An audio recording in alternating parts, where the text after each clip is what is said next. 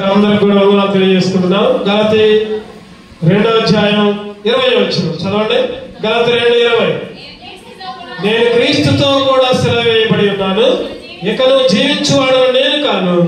క్రీస్తే నాయందు జీవించుచున్నాడు. ఎవరన్నది ఈ మాటలు చెప్పండి. ఎవరన్నారు ఈ మాటలో? పౌలు. పౌలు ఏమంటున్నాడంటే యేసు క్రీస్తుతో సెలవ వేయబడి ఉన్నాను. సెలవు వేయబడి ఉన్నా నిజంగా? చెప్పండి.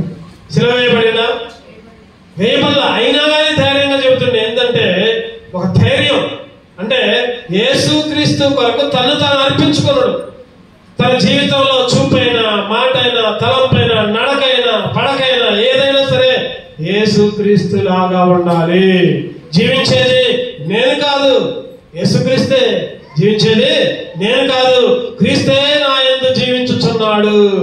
ఈరోజు ఇటువంటి సాక్ష్యం నువ్వు నేను కలిగి ఉండాలి. మనందరం కూడా ఇదే సాక్ష్యం కలిగి ఉండాలి. సిలువ మోసుకోవాలి. మొదటి కొరింత రెండో అధ్యాయం రెండో వచ్చిన చూస్తే మొదటి కొరింత రెండో అధ్యాయం రెండో వచ్చిన నేను యేసుక్రీస్తును అనగా సిలువ వేయబడిన యేసుక్రీస్తును తప్ప మరి దేనిని మీ మధ్య నెరగకుండా నిశ్చయించుకోండి. ఒక నిర్ణయం తీసుకున్నాడు పౌలు.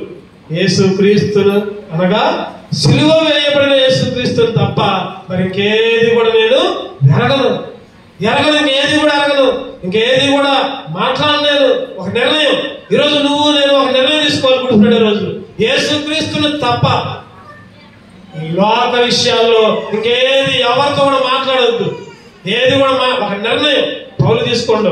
పేద భక్తుడు. ఓ ఎన్నో సంఘాలు కట్టాడు. మరి ఎంతో ఎన్నో మాటలు మాట్లాడుకోవచ్చు. కానీ ఏమంటున్నాడు? యేసు క్రీస్తును తప్ప సిలువ వేయబడిన యేసు క్రీస్తును తప్ప ఇంకా దేన్ని కూడా నేను ఎరగను ఎరగను. ఈరోజు సిలువ వేయబడిన యేసు క్రీస్తుని అదే అధ్యాయులు ఇరవై మూడు వచ్చిన అంటా ఉంటాడు. ఒకటి ఇరవై మూడు కొరింతి మొదటి కొరింతి. అయితే మేము సిలువ వేయబడిన క్రీస్తును ప్రకటిస్తున్నాం. యేసు క్రీస్తుని ప్రకటించాలి. సిలువ వేయబడిన క్రీస్తుని ప్రకటించాలి సిలువ వేయడం అంటే సిలువ వేయడం అంటే మూడు ప్రాముఖ్యమైన సిలువలు ఉన్నాయి మన జీవితంలో ఈ మూడు సిలువలు అందరూ కలిగి ఉండాలి ఈరోజు చాలా మందికి మెల్లో సిలువ ఉంటుంది. చెప్పండి. కొంతమంది ఇళ్ళలో సిలువ పెట్టుకుంటారు. కొంతమంది ఇంటి మీద సిలువ పెట్టుకుంటా ఉంటారు. లేకపోతే రకరకాల ప్రాంతాల్లో సిలువ ఉంటుంది. కొంతమంది పచ్చబొట్లు పొడిపించుకుంటారు. చేతులు కానీ అయ్యని ఇయ్యని లేకపోతే చైన్లు కానీ. సిలువ ఆకారంలో. అది కాదు దేవుడు కోరుకునేది. దాన్ని బట్టి దేవుడు సంతోషించడు నీ మెడలో సిలువ ఉంటే దేవుడికి సంతోషం కాదు లేకపోతే నీ ఇంట్లో సిలువ బొమ్మ ఉంటే దేవుడికి సంతోషం కాదు మరి ఎక్కడ సిలువ ఉండాలి? ఎప్పుడు దేవుడు సంతోషిస్తాడు? మూడు విషయాలు క్లుప్తంగా. రోమిలకు రాసిన పత్రిక ఆరు ఆరు. రోమిలకు రాసిన పత్రిక ఆరు ఆరు. ఏమనగా? మనం ఇంకను పాపమునకు దాసులము కాకుండానట్లు. పాప శరీరము నిరర్థకమగునట్లు. మన ప్రాచీన స్వభావము ఆయనతో కూడా సిలువ వేయబడాలి సిలువ వేయబడాలి సిలువ వేయబడాలి ఆయనతో కూడా సిలువ సిలువేయబడితే మరలా రాకూడదు అది. చనిపోతే మరలా రాకూడదు రాకూడదు. యేసుక్రీస్తు మాత్రమే చనిపోయి తిరిగి లేచాడు. ఇంకా ఏది చనిపోయినా మరలా రాకూడదు. ఏ స్వభావం? చనిపోవాలి చెప్పండి. ప్రాచీన స్వభావం. ప్రాచీన స్వభావం చనిపోతే మళ్ళీ రాకూడదు బయటికి ఈరోజు పాత స్వభావాలు వస్తున్నాయి ఒక్కొక్క సందర్భాల్లో. వివరించడానికి సమయం కాదు కానీ ఒక్కొక్కళ్ళు ఒక్కొక్కసారి పాత స్వభావాన్ని అంతా తీసుకుని వస్తున్నారు. నువ్వు రక్షణ పొందావు సిలువలో యేసుక్రీస్తు నీ కొరకు మరణించాడు నీ కొరకు ప్రాణం పెట్టాడు నువ్వు బాప్తిస్తం తీసుకున్నావు ఒక మందిరంలో నాటబడుతున్నావు కట్టబడుచున్నావు ఎదుగుతున్నావు మరలా పాత స్వభావాలు చచ్చిపోవాలి పాత స్వభావాన్ని సిలువ వేసావా? ఈరోజు ప్రశ్న. ఈరోజు నీకు దేవుడు సూటిగా అడుగుతున్నాడు నిన్ను. నీ ప్రాచీన స్వభావాన్ని వదిలిపెట్టావా? లేకపోతే వెంట పెట్టుకుంటున్నావా వెంట పెట్టుకుంటే నరకానికి పోతావు రక్షణ పొందేది. వెంట పెట్టుకుని ఉంటే నువ్వు దేవుని ఉగ్రతకి ఆ, లోనైతావు వదిలిపెట్టు. ప్రాచీన స్వభావాన్ని వదిలిపెట్టు. మెల్లో సిలివేసుకుంటే దేవుడికి సంతోషం రాదు కానీ నీ పాత స్వభావాన్ని నీ దుష్ట స్వభావాన్ని నీ దుర్మార్గపు స్వభావాన్ని నీ క్రూరమైన స్వభావాన్ని ద్వేషంతో నిండి ఉన్న నీ స్వభావాన్ని చెడ్డ ఆలోచనతో ఉన్న నీ మనసుని వదిలిపెట్టేసాయి. పాతి పెట్టేసాయి పాతి పెట్టిన తర్వాత మళ్ళీ దాన్ని లేపొద్దు. సిలువలో సిలువలో ప్రాచీన స్వభావాన్ని వదిలిపెట్టాలి. ఒకటో సంగతి. రెండో చూద్దాం గలతే ఐదు ఇరవై నాలుగు. గలతే ఐదు ఇరవై నాలుగు. గలతే ఐదు ఇరవై నాలుగు. ఇటువంటి విరోధమైనది లేదు. క్రీస్తు యేసు సంబంధులు శరీరమును దాని ఇచ్చలను శరీరమును దాని ఇచ్చలను దురాశలతోను సిలువ వేసి ఉన్నారు. సిలువ రెండోది. ఒకటోదేమో ప్రాచీన స్వభావాన్ని సిలువ వేయాలి రెండోదేమో చెప్పండి ఏంటయ్యి ఆ, ఏంటయ్యి దురాశలు వేయాలి ఇంకా? ఇంకా? ఇంకా ఏం చేయాలి? విరోధమైన దురాశలతో క్రీస్తు చేసే సంబంధాలు శరీరము శరీరము దాని ఇచ్చారు శరీర కోరికలన్నీ సిలివేయాలి శరీర కోరికలు చాలా ఉంటాయి. శరీర కోరికలు చాలా ఉంటాయి. ఆకలని దాహం అని దాన్ని చూడగానే కావాలనుకోవటం చూడగానే ఆశపడటం చూడగానే పొందాలనుకోవటం ఏదైనా ఏదైనా శరీర కోరికే. ఈ శరీర కోరికలన్నీ సిలువేయాలి. నీ తలంపులు నీ ఆలోచనలు చూపులు అన్ని సిలువేయాలి. సిలువ వేయకపోతే నువ్వు ఎన్ని గుడ్లు ప్రేరు చేసినా నాకు ఎన్నిసార్లు ఉపవాసం ఉన్నా నాకు ఎన్ని దాన చేసినా ఓ పైకి ఎంతో సిలువ పెట్టుకొని లేకపోతే ఇళ్ళలో సిలువ పెట్టుకున్నా లేకపోతే ఇంకా ఏది చేసినా ఏది చేసినా శరీర కోరికలు తీసివేయకపోతే నువ్వు ఏది చేసినా కూడా వ్యర్థమే. నలభై రోజులు ఉపవాసం ఉన్నా వ్యర్థమే. నలభై రోజులు ఉపవాసం ఉన్న అర్థమే తెల్ల కట్టుకున్నా తెల్ల బట్టలు కట్టుకున్నా చెప్పు లేకుండా నడిచిన లేకపోతే ప్రభు ప్రభు ప్రభు అనిపించిన ఈ కోరికలన్నీ మళ్ళీ వస్తే ఏం ఉపయోగం? ఏమి ఉపయోగం లేదు. చాలా సంతోషం ఉపవాసం ఉంటే చాలా సంతోషం దేవుని కొరకు ఒక ప్రతిష్ఠిత జీవితం కలిగి ఉంటే కానీ కానీ శరీర కోరికలన్నీ సిలువే. శరీర కోరికలు శరీర తలంపులన్నీ సిలువేయాలి అప్పుడే దేవుడు నీలో సంతోషిస్తూ ఉంటాడు. మూడవ విషయం చూద్దామండి గలతే ఆరు పద్నాలుగు. గలతే ఆరు పద్నాలుగు. అయితే మన ప్రభు అయిన యేసుక్రీస్తు సిలువైన తప్ప మరి దేని ఎందును అతిశయించుట నాకు దూరమును గాక దాని వలన నాకు లోకమును లోకమునకు నేను సిలువ వేయబడి ఉన్నాను. దేనికి సిలువ వేయబడాలి చెప్పండి మూడోదిగా లోకానికి. దేనికి? లోకానికి సిలువ లోకాలకి సిలువ చాలా కష్టం. ప్రాచీన స్వభావం తీసేయడం కష్టం. శరీర కోరికలు తీసేయడం కష్టం. దానికైతే మంచి మంచి భోజనాలు రాజకీయ భోజనాలు పంపిస్తే దాని తినడా? చెప్పండి బైబిల్ ఏం చెప్తుంది? దానియేలు వాటిని దూరంగా పెట్టాడు. శాకాహారాన్ని భోజనం రాసే భోజనాలు భోజనాన్ని కూడా వద్దన్నాడు. ఈరోజు మనం మనం చెప్పండి అటువంటి భోజనం వస్తే అబ్బా ఎప్పుడు ఎప్పుడు తినాలని కోరికలు వస్తాయి ఈరోజు శరీర కోరికలు తీసేయాలి ప్రాచీన ప్రాచీన స్వభావాన్ని పాత స్వభావాన్ని తీసేయాలి. చివరగా మూడవది లోకానికి వేరుగా ఉండాలి. లోకం మాటల్లో నువ్వు మాట కాదు మాకు. లోకం తలంపుల్లో నీ తలంపులు వచ్చి మాకు. లోకానికి దూరంగా ఉండు.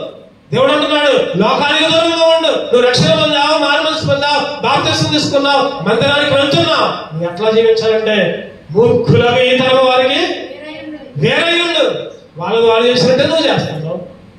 వాళ్ళు మాట్లాడితే నువ్వు మాట్లాడుతున్నావు. వాళ్ళు ఆలోచించినట్టు నువ్వు ఆలోచిస్తున్నావు. ఏంటి తేడా? రక్షణ పొందా బాప్తిష్టం పొందా ఆరాధన చేస్తున్నావు పాటలు పాడుతున్నావు ప్రార్థన చేస్తున్నావు వాక్యం చేస్తున్నావు. లేకపోతే అన్ని పనులు చేస్తున్నావు.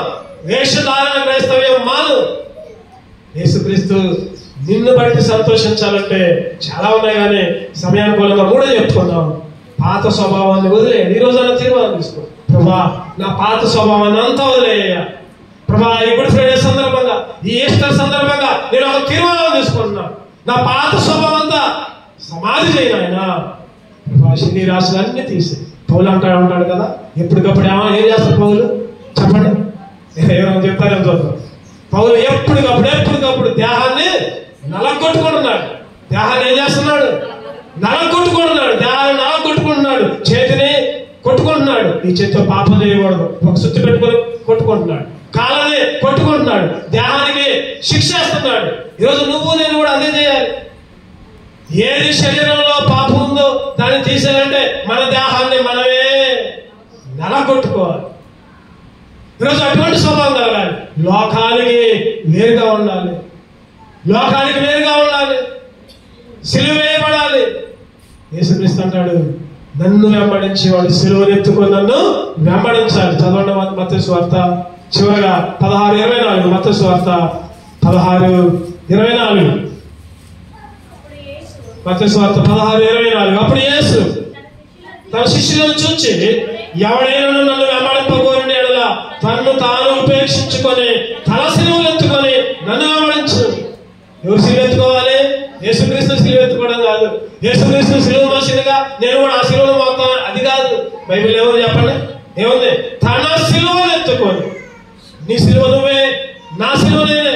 ఎవరి సిలువ వాళ్ళే? మన పాపాలన్నీ తీసివేయాలి వెంబడించాలి యేసుక్రీస్తుని వెంబడించాలంటే యేసుక్రీస్తుని వెంబడించాలంటే ఎవడైనా నన్ను వెంబడించకూడదు ఎలా తన్ను తాను ఉపేక్షించుకోవాలి తగ్గించుకోవాలి తను తాను విధేయుడిగా ఉంచుకోవాలి.